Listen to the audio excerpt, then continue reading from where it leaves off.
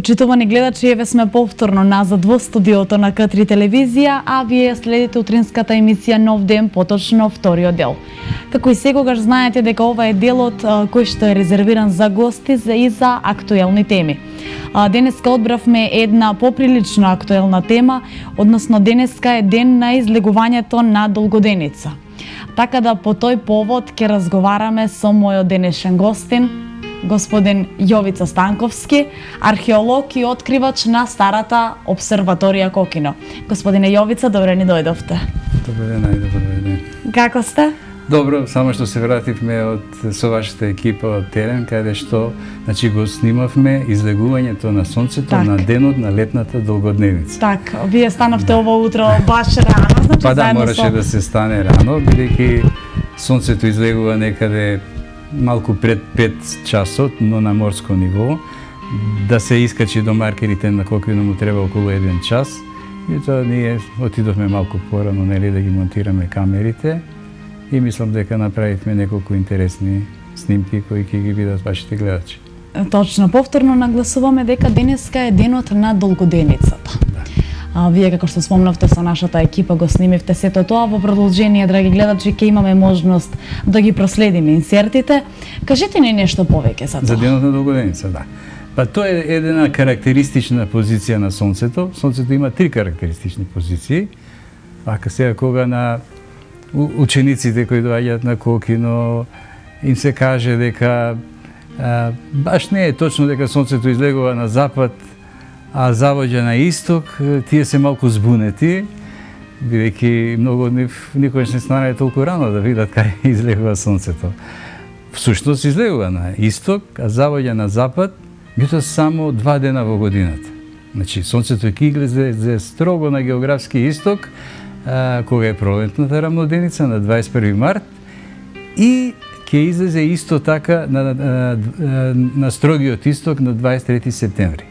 Меѓутоа, почнувајќи од 21 март, сега, нели 22 март, 23 па мај и така натаму, точката на изгревот на сонцето се придвижува кон север. Значи, оди од строгиот исток, оди лево од нас, а тоа е значи северна позиција, и максималниот тој северен отклон ќе го достигне на денешен ден.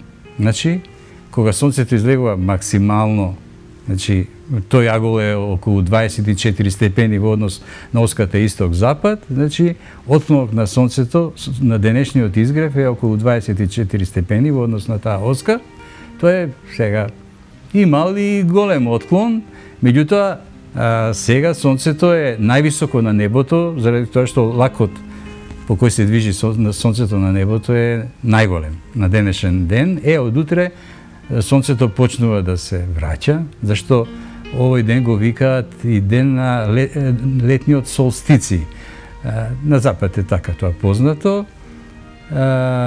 Тоа доаѓа од латинското сол систере, сонцето стои. Затоа што на денешен ден, како да ќе застане сонцето, и му треба така ден-два, како да се мисли каде да доди, дали да продолжи да доди северно уште, и почнува да се враќа на на насад. Така, значи, во прилог имаме Ево прилог гледаме некои инсерти од Кокино. Да ни кажете вие сега. А, сега, овие се инсерти, баш сонцето тука не го гледаме, зад маркерите, тоа се ќе се појават и ќе се појави сонцето на на маркерот. Дали постојат и некои други маркери за карактеристични позиции на сонцето и месечината во текот на годината? Да, постојат, значи постојат постои маркер на сонцето за а, и тоа два. За еквиноксите или рамнодневниците пролетната и есенска, постои маркер за летка, летната кусоденица која е на 22 декември. И што е важно тие луѓе преисториски наблюдувачи на небото така.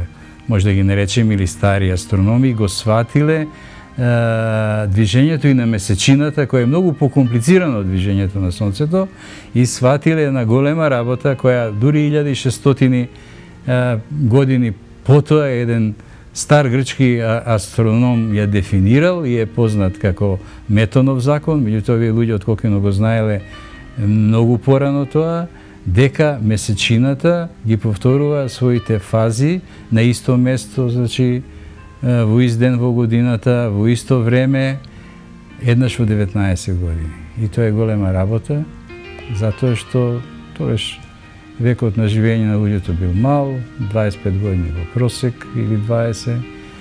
И тоа значи да сватите дека нешто се повторува регуларно за 19 години, требате барем два пати во 19 години да наблюдувате. Затоа што тие луѓе не знаеле математика, немале телескопи. Се е кај нив на... Еве, сега тоа е маркерот на ова што е како седло горе, тоа е маркерот на летната долгоденица. И сонцето треба да се појави таму. На тој маркер, значи треба да излезе. малку имаше екипи од други ова, новинари тамо, па не можевме баш да фатиме добра позиција така. да го снимиме. Сонцето, меѓутоа има неколку добри фотографии каде што може да се види, значи сонцето како изгледува на тој карактеристичен маркер.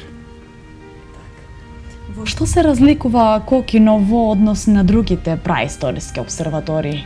Па знаете, значи, обсерваториите не се непозната работа, иако се многу ретка. Сега ние не знаеме како изгледале обсерваториите во Месопотамија, например, вавилонците се едни од првите наблюдувачи на небото, исто како и египќаните. Вавилонските храмови, нели тие големи градби, зигурати, тие се уништени. И е, не знаеме што се гледале, иако постојат нели записи што што гледале. Меѓутоа како го правеле, тоа тоа се уште не знаеме. Е, Меѓутоа, Кокино е една од најстарите сочувани обсерватории, значи каде што се одбележени едно 5-16 позиции на Сонцето, Месечината и една голема звезда, а тоа е прилично многу.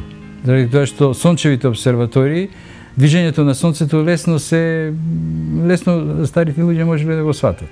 После година дена се повторува сето тоа, така да не треба долго нели наблюдување за да се свати како се движи сонцето. Меѓутоа, кај месечината е покомплицирано, рековме, таа има циклус а, во кој ги повторува своите нели фази, а тој циклус е еднаш у 19 години приближно. И тоа е зачудувачки како тие старите наблюдувачи на небото во Кокино тоа го разбрале и го не само што го разбрале, и за доказ дека го разбрале, имаме ние, значи изработени длабоки маркери и кои се добро сочувани. Маркерите баш тие за месечината се многу подобро сочувани од овие сончеви маркери.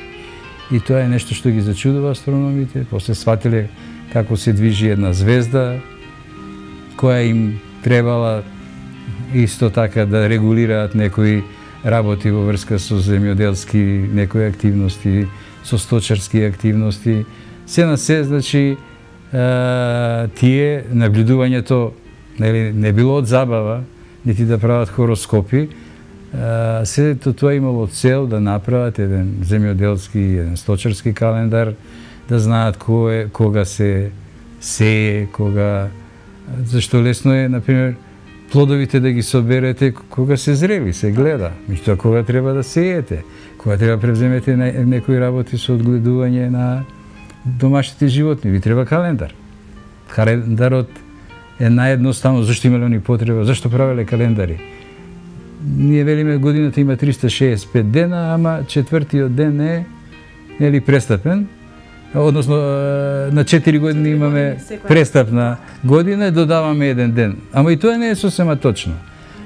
Така е, тоа е тој јулијански календар кој е направен за време на нели императорот Јулије Цезар, првиот век пред наша ера, он задолжил еден астроном да направи календар. И тој го направи тој јулијански календар, каде годината има 365,25 дена. Меѓутоа и тоа не е точно. А, најточно е значи да земете една точка како денеска да фиксирате каде сонцето излегува овој ден во годината и кога после година дена ќе се појави на истото место, годината завршила. Тоа е така наречена тропска година, која се обидуваат сите да ја, значи, долова, да ја... И сега, тој астроном на Јулија Цезар направил, значи, еден календар со секоја четврта да е престапна, меѓутоа проблемот е со што годината нема, а година е едно завртување на земјата околу сонцето, нема 365 дена, кома 25, не, како што тој стариот астроном го направил, него има 365 дена на запирка 24-25. Е таа, дури тие четврти децимали прават промени. И за 400 години тоа се три дена. И затоа е, во таму 17 век папата Григорија дал да се коригира тој календар и тогаш настанал Григоријанскиот календар со тоа што за тие таму 1700 години за 13 дена сонцето стапило значи од своите од својата патека и морале значи да а, едноставно да додадат 13 дена, односно да а, да се одземе, да, да, да, на, 13, значи, значи на 400 години три дена имате е, вишок. И така да нели не е Божиш на шести, како ние сме го задржале у нас старото славење нели по јулијанскиот календар, Божич е на шести, е, попрецизно е на 24-ти. Значи, е, овој, тој Григоријанскиот календар во сместува порано за 13 дена. И сега и овој има мани, ама грешката кај овој Григоријански ќе, ќе биде на 3000 години еден ден. И тогаш се, ќе се направат корекции. Така да, во суштина е малку и компликувано, ама најточно е она што го правиле тие стари наблюдувачи на Кокино. Ки забележат една позиција на изглед на сонцето во так. конкретен ден, да кажеме овој ден. И кога после целото шетање на сонцето по хоризонтот, до година овој ден ќе се врати сонцето да изгледа таму, годината заврши. Тоа е така наречена тропска година и тоа е прилично точно. Од каде љубовта кај вас конкретно за истражувањето? Па, ето, јас сум археолог, Иначе уште како дете се интересирав за астрономијата, дури сакав да студирам астрономија. И тоа така, испадна од тогаш ги пратев тие работи и случајно испадна да најдов, тоа е веќе среќа за, и за еден археолог, да најдеш на локалитет кој е светски. Случајно тоа беше од она мене што ме интересира, да тука има и астрономија. Така. И сега, значи, бев многу изненаден кога одеднаш видов дека Кокино има астрономски информации. Така, од каде баш идејата за откривањето на таа мегалитска обсерваторија? Па знаете како сега, ние значи отидовме таму 2001 година, правиме редовни обиколки на теренот, доаѓа диви копачи, копаат и така, една обиколка на теренот, одеднаш горе, е, го, го забележавме локалитетот дека е многу интересен, дури таму кај што беше раскопано диви копачи видовме дека има многу интересен материјал. И продолживме таа година, 2001 година почна првите археолошки скопувања и одеднаш видовме дека јас се посомнував дека тој а, а, нели а, ова та тој локалитет има астрономски информации заради тоа што имаше посебни места каде што може да седнете па да се завртите кон источниот хоризонт, па таму имаше вакви чудни шарки, маркери. И, но се разбира, тоа може да го покажат, да го докажат само астрономите, професионални. Така, да моје беше како откривач на обсерваторијата да ги алармирам нив, да ги повикам на локалитетот, да ги заволам да дојдат, да направат мерења и само тие се кои може да потврдат дали еден објект таков е обсерваторија или не.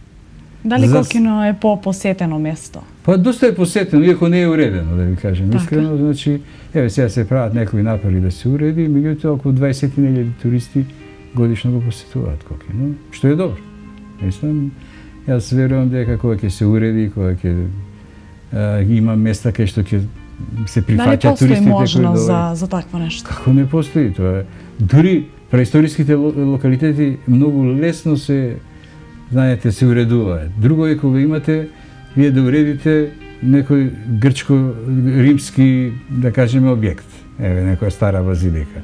Па таа е преправа на 20 пати, па има еден под, па испод него втор, па трет, па четврти, па секој има мозаик.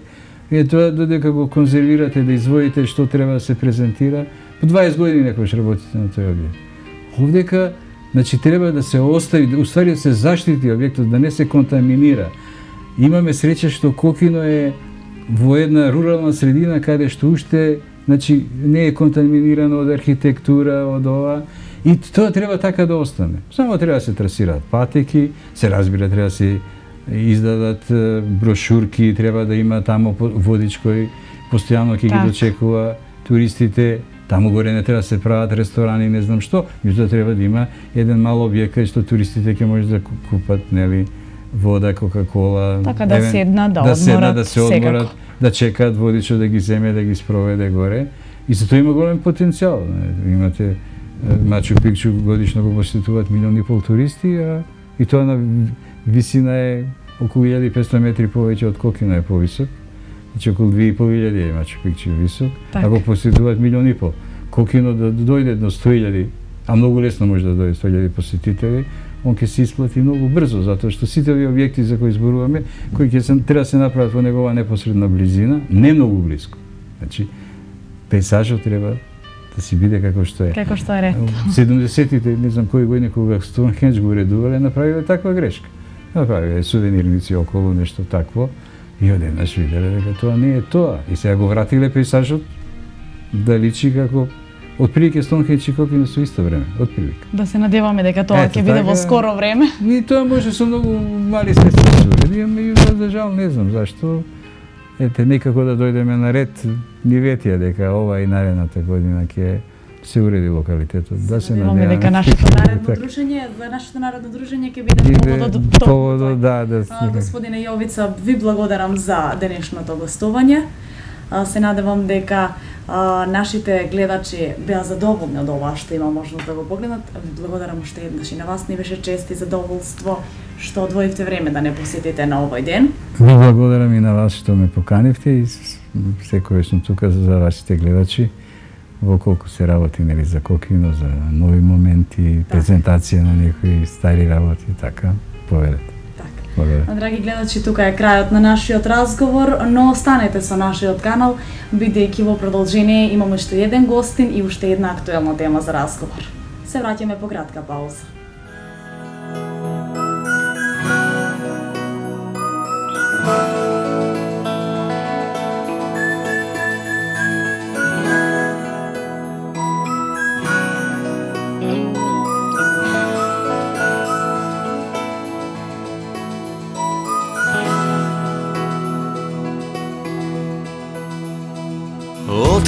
ljubav svet, na ljubav svet I na ptica krilja dari za let.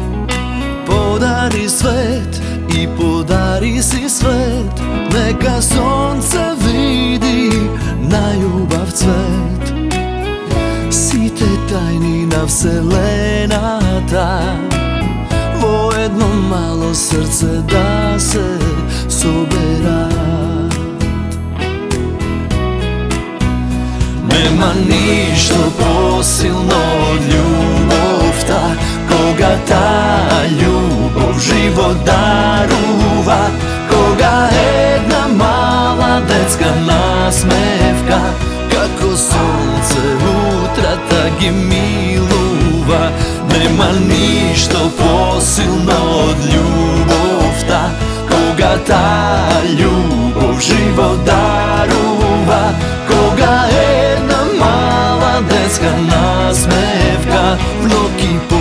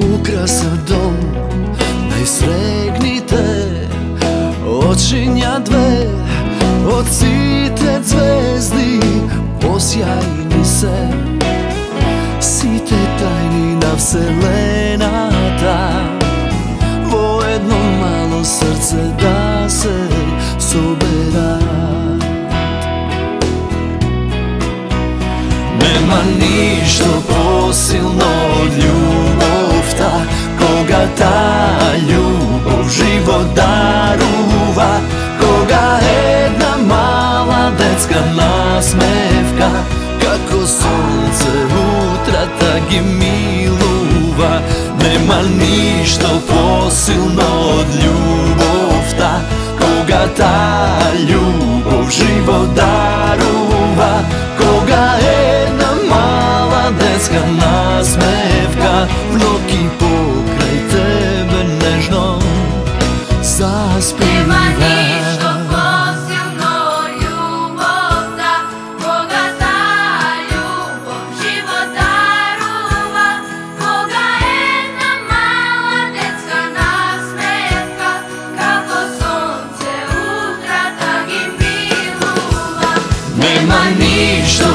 Силно љубовта Кога таа љубов живот дарува. Кога една мала детска насмевка Како сонце утрата ги милува. Нема ништо посилно од љубовта Кога таа љубов живот дарува. Кога една мала детска насмевка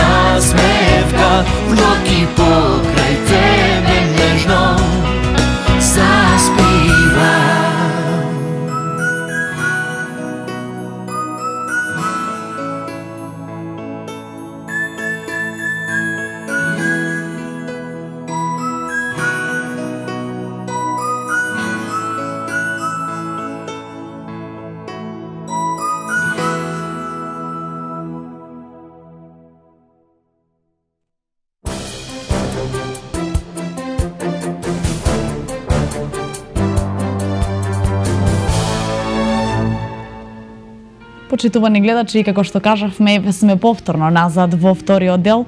Денеска овој дел е специфичен по тоа што имаме две актуелни теми за разговор. Првиот имавте можност да го проследите пред кратката музичка пауза, а сега еве сме во вториот. А, како што напоменав, имаме една ексклузивна тема и само по себе една ексклузивна професија. А, мојот денешен гостин, секоја професија има своја тежина, но професијата на мојот денешен гостин е посебна и занимлива на некој свој начин. Ова е една од професиите кои што може да се доусовршуваат, но сепак за вакво нешто треба да си роден. Дали сите ние во животот носиме маска, дали носиме повеќе маски, дали маската ја вадиме кога сме сами, за сето тоа ќе поразговараме со мојот денешен гостин Марко Трајковиќ, кој што беше прогласен за најдобар млад актер. Марко, добре ни дојдовте. Добро ве најдов. Како се чувствувате? Ненаспиено. Не наспиено. Ненаспиено. Така, ве разбудивме Како рано. за утринска емисија. Да, но сето тоа во чест на нашите гледачи. А, Марко, причината за а, вашето денешно гостување кај нас е токму представата Ревизор, на која што бевте прогласен за најдобар млад актер. Ке ни кажете ли како поминаа подготовките за самата представа? Подготовките за представата помина, мислам, супер по мое. Месец и пол траеше процесот, напорна работа, секако по 12-13 часа дневно, без празници, без викенди, без паузи. Секогаш е напорно да се работи во голема екипа, затоа што во ревизор играме, мислам, 11 актери, со значи доста гломазна, го огромна сценографија, тука е, беше вмешан нели поголемиот дел од техниката во театарот. Така да напорен процес, но ете, изгледа на крај се исплатеше целиот труд. Така. А, како се чувствувате кога бевте прогласен за најдобар млад актер? Дали очекувавте ваква награда? Не, далеку од тоа. далеку од тоа, значи посебно ние во Кумановски театар така не тренира да не очекуваме ни награди ни ништо.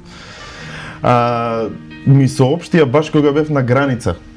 Значи да излезам од државата, ми вртат од работа, честито награда, каква награда ми ја кажуваат, јас уште ми се потребни уште неколку дена да ми легне цело во ова што ми го соопштија, да. Е, значи навистина уште сум под импресии Така. Не сум ни свесен што се случило ни како се случило, но еве, како поминува времето, се полека и полека ми станува јасно. Така, колку представи беа во трката за, Е, представи за награда? 11, мислам. Така. 11 или 10 представи. Така, така. А сега кажете ни нешто повеќе за самата представа и за оние кои што ја допринесоа представата да биде па представата сама по себе ревизорот Гоголь, значи текст доста стар, напишан пред 150 и кусур години, може би 160, не сум не сум баш сигурен. Uh, но се уште актуелна, значи тоа е тоа е сигурно убавината на оние големи руски класици ние што ги сакаме во театар затоа што уште се актуелни.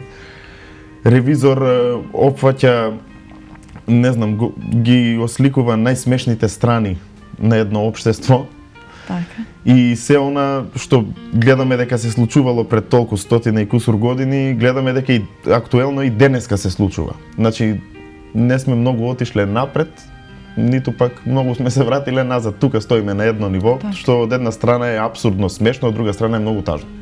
Така, во еве во прилог имаме инсертите. Може може ли да ни кажете нешто повеќе за за оваа представа? Е, па представата најпрвен е многу долга. Така. Значи текстот е 110 страни, ние дури скративме 40 страни, но не успеавме да го намалиме времето на траењето на представата. Представата си трае 2,5 часа. И навистина е напорно да се Така. седи и на Дали сцена и пред за сцена. психички се подготвувате за една представа? За сите представи се подготвуваме психички, значи работата си ја носиш дома, барем во оваа моја професија. Покрај тие напорни проби физички и психички 12 часовни во театар, кога ќе си заминеш дома, многу голем дел од работата, можеби и 70% од работата се завршува дома, сам. На колку представи до сега имате земено учество? Сигурно на повеќе од 20-тина. Така, награди и признанија за досегашните представи. Ова ми е прва. Прва награда. Ова ми е Браво. Одлично. Дали дали лесно се внесувате во секоја улога? Да, да. Се А- внесувам во улоги и што треба и што не треба. Така, И какви приватно. улоги преферирате? Какви улоги преферирам? Така. Па видете, во последно време, во последниве 3,5 години од како сум во Кумановскиот театар, мене ми дава да играм само или љубовници или негативци. Така. Значи не знам зошто сите режисери што ќе дадат, мене такви улоги ми даваат. Еве овој пат добив нешто поразлично. Да ви кажам право, бев изненаден од поделата на режисерот. Ова улога ми беше најнепривлечна од сите 11 улоги. И Цуев, Колнев, се тоа, значи кога ја добив улогата бев разочаран на вистина многу. Но ете со работа и труд успеав да извадам некаков резултат што ете другите можеле да го препознаат тој труд што сум го вложил во оваа улога. Кои улоги најдобро ви лешат? Која улога најдобро ја совладувате? Која улога најдобро ја совладувам? Е, Еве од веќе споменатите дали е тоа улогата на љубовник, на негативец или пак не знам, па да, тие две улоги ми лежат, но мислам дека нема тука лежење или не лежење на некакви улоги, значи секоја улога не е за подценување, како што јас отпрви не ја подценив оваа? Улога за која Кога што добив награда. професионалец не е. Да, треба да се однесуваш професионално и да внесуваш еднакво труд во секоја улога. По мое мислење. Така. И затоа мислам дека немам улоги кои ги преферирам. Така, ајде сега една паралела. А, Марко Трајковиќ на сцената и Марко Трајковиќ од како ќе се спуштат завесите. Кажете ни нешто повеќе за вас. Како сте приватно? Како сум приватно? Да, дали приватно сте негативец како што најчесто ви доделуваат улоги? Или пак Не, приватно сум многу опуштен тип, либерте што би се кажало. Уживам, да, приватно се занесувам во секоја тема од која што сум дел или, или на разговор или на нешто друго. Е, така да јас сум актер и на сцената и приватно. така, И мислам дека тоа не е толку професија колку што е начин на живот така. Го имам прифатено и така си живе. Јас споменав уште на самиот почеток во самата најава, а и вие еве туку што кажавте, има луѓе кои што се глумци и во приватен живот и во професијата. Дали ги има се повеќе? Што мислите вие како глумец од ваш аспект, од ваша гледна точка? Дали има се повеќе маски меѓу луѓето? Па видете, со појава и на нови медиуми, и како оди технологијата напред, не знам зошто, но мојата професија станува се попривлечна и попривлечна за денешнава младина што е.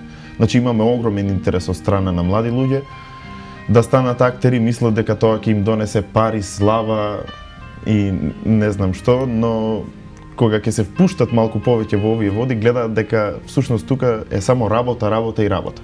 Така. Ако некој од страна се најде да те награди или да ти го признае трудот, тоа е супер, но во 90% од случаите не е така. Само си работиш и ако си актер, по моje мислење, биди актер за себе. Така. Како се определивте за оваа професија? Па не знам, убаво кажавте, треба да си роден Така. за вакво нешто. Да, јас сум знаел од, од мали нозе дека или ова ќе го работам или не знам, ќе продавам цигари во трафика.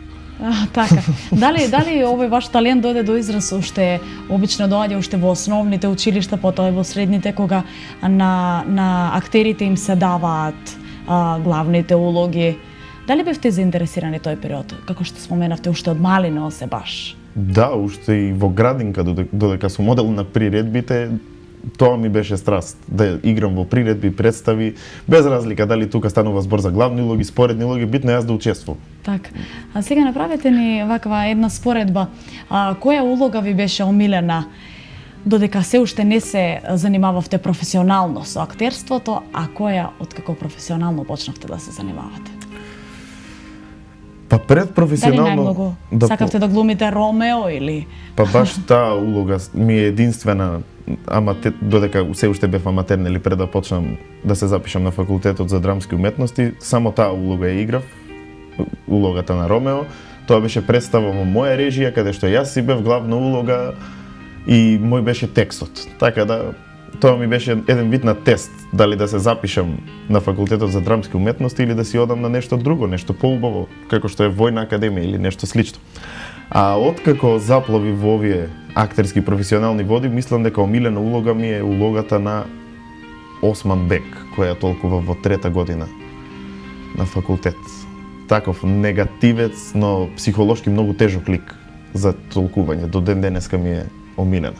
а, така дали сметате што мислите колку е развиено актерството во Куманово конкретно? Во кој смисол колку е развиено дали актерството? дали има луѓе, дали има лица кои што се заинтересирани за актерство? Да, има многу, многу луѓе, значи зборуваме за луѓе од секаква возраст, значи од средношколска па нагоре. Така значи бројот се зголемува. Се зголемува, бројот константно расте. Дали има имате некое друго, дали имате хоби и покрај актерството? Со што, што со што друго се занимавате? Хоби покрај актерството, е, последниве година дена возам мотор, Така. е, сложувам како, слагалки од 1000 парчиња, 2000 парчиња, 3000 парчиња, значи нешто да се занимавам додека сум дома. Ги урамувам за да можам секој ден да си го гледам трудот на зид и тоа е. Во глобала на вистина јас не сум ни некој што ќе излегува да оди по журки. Повеќе би сакал да поминам квалитетно време со двајца или тројца од моите пријатели, отколку да сум во некои гужви од 500-600 луѓе. Така, тоа е одлично. Вие сте млад. А, колку време сте во актерските води? Професионално Така. од основе 6 и пол години. А, како најлесно го совладувате текстот? Како најлесно го учите текстот? Па текстот го учам на проби, сигурно не сум седнал дома ниту за ниту една улога да седнам и да учам текст, Така. Затоа што не знам многу ми е полесно додека ги, го читаме текстот заедно на читачките значи. проби. Текстот сам си влегува, јас не го учам. Така, се внесувате во него. Да, зависиш од колегите, тука не знам, од неговиот текст зависи твојот, бараш некоја логика и всушност единствениот трик е само да го направиш текстот свој. Така. Откако ќе го направиш свој не е проблем за учење. Така. Кој е најубавиот момент до сега во вашата кариера, така да кажам? Најубавиот момент во мојата кариера. Да. Дали тоа беше токму оваа награда? Сега што ја добивте или пак има и уште нешто? Кое што ве повлече уште повеќе да продолжите со оваа професија? Видите како во секоја професија имаме, нели, е, издигање и паѓање. Така. Но мислам дека најубавиот момент ми беше кога видов колку е успешна една од нашите последни представи во Кумановскиот театар. Таман кога кога си кажав самиот на себе еве ништо не правиме, се убиваме од работа, луѓе во не сакаат да доаѓаат во театар. Претходната година на Денови на комедија во Куманово дадовме премиера на представата Идиоти. Така. Идиоти е представа на Кумановскиот театар, значи без средства од државата, од министерството, Така. ние сами доброволно и екипата, и актерска и режисерот решивме да направиме представа со се нешто што ќе најдеме, што ќе прибереме од страна, во смисла на костими, музика, нели? И е, представата Идиоти ни доживеа доста голем успех. И јас кога видов како можеме од ништо да направиме нешто, тоа до ден денеска ми е многу голема мотивација. За оваа работа која што ја работам. Така, дали дали имате спонзори, токму тоа сакав и да ве прашам да се надовршам на прашањето. Дали некој ви помага околу самото организирање на представите? Па се зависи ако проектот е одобрен од Министерството за култура, тогаш добиваме буџет со кој што нели може да се покрие сценографија, костимографија, да се платат хонорари на глумци кои што гостуваат, режисерот исто да се исплати и тоа се. А кога проектот не е одобрен од Министерството, значи кога е од наши собствени средства, тогаш немаме помош, сами работиме. Така, дали знаете добро да се организирате и да работите и кога сте под притисок? Само така се работи. По мене. Најдобро се работи под притисок. Со каков тип на луѓе не би можеле да работите? А не знам дали има таков тип на луѓе. Со Значи, кој што не би може. Да, Професионалец можам во секоја смисла на зборот. Да, со некого со кого што се слагаме, ќе се слагаме, со кој не се слагаме, ќе се тепаме, но ќе сработиме. Така, Важно е да се сработи. така. На Наши, нашите да односи приватно не се важни. Така. А, дали би можеле да ни кажете, а, дали се случило некогаш а, пред самата представа некоја техничка грешка или како да кажам што што ви го одзела вниманието? Доста често се случуваат технички грешки за време на представите. Е тогаш настапува она што ние во театар го викаме импровизација на сцена пред Така. публика. Тука се гледа кој колку е поткован. Дали сте, актерски. сте, сте имале, значи, Јас уживам, едва и чекам да се случат такви нешта. Едва и чекам да се случат такви нешта затоа што по мене тоа е нешто што се гледа само еднаш во театар. Значи Така. истата техничка грешка не може да се случи два пати. така. И е, начинот на кој што ќе одреагираме и јас и моите колеги, тоа се случува тука на лице место и се заборава. Значи тоа останува само во умот нели на оние кои што не гледале и тие ќе си го носат дома со себе. И мислам по мене дека тоа е нешто безценето. Кој беше задолжен за костимографијата, конкретно еве за представата Ревизор? Задолжен беше Александар Рашковиќ, кој е исто така наш, нели, кумановчанец. Мој професор беше на факултетот за драмски уметности по предметот костимографија и мислам дека направи одлична одлични костими за представата. Одлични. Така. А секогаш соработувате така со со еден или со една личност или пак За секоја представа е различно.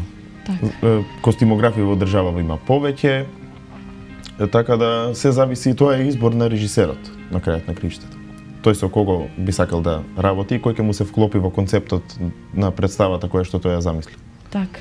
А, колку време рековте дека ви е потребно за да се подготвите за една представа? Е па сега имаме представи, представи и представи. Така. Значи ревизор е представа која се Зависно од подготвуваше да. месеци, половина. Е, Идиоти е пример представа која се подготвуваше 20 дена. Уште предходно кога го, кога бевме на денови на комедија со нажалена фамилија, тоа е процес кој што траеше 18 дена, а некои процеси како што е зад колисите, исто така наша сега брзо представа на Кумановски театар, таа се подготвуваше 2,5 месеци. Така да се зависи од концептот на режисерот. Дали да се биде актер е исплатлива работа во денешно време? Не. Не, Зашто не е исплатлива, затоа што е, е, професијата да убаво изгледа од страна, но кога ќе влезеш во неа видиш колку е, е неисплатлива, затоа што кога ќе си го погледнеш трудот кој што си го вложил и во една представа или во еден проект, не е битно во, не е важно во што, е, и на крајот кога ќе го видиш признанието кое ти е дадено за таа улога и за тој труд, сватиш дека тоа е малку. Така. Еве, се случуваат случаи како сега, кога ми се јавија за наградава, да си кажам, еј, да, значи ова се исплатело. Знаеш, малку е, луѓево почнале да ценат нешто од нешто. Така, Но ова Марко, можеше да им се случи на било кој од моите колеги во представата. Сите до еден беа, не знам, на вистина професионални до крај. Така. Каде се гледате за пет години? Каде се гледам за пет години? Па да се гледам на некоја плажа на Малдиви и не работам веќе како актер, само уживам ден и ноќ со керками и пијам коктели додека ме ладат. Така некако си се гледам за пет години. Сигурно нема да стигнам до Малдиви на пет години. Јас мислев конкретно на актерските води. А на актерските води, ако сум актер уште за пет години, тогаш предпоставувам уште тука. Комановскиот театар е мојот матичен театар, го сакам од мали нозе и не би сакал така лесно да си заминам од него. Така. Марко, ти благодарам за денешното гостување. Ни беше чести задоволство што не посетивте и што еве и нашите гледачи имаа можност а, да го видат најдобриот млад актер. И вам, драги гледачи, ви благодарам што не следевте. Останете со каналот на К3 телевизија и имајте убав ден и добро расположение.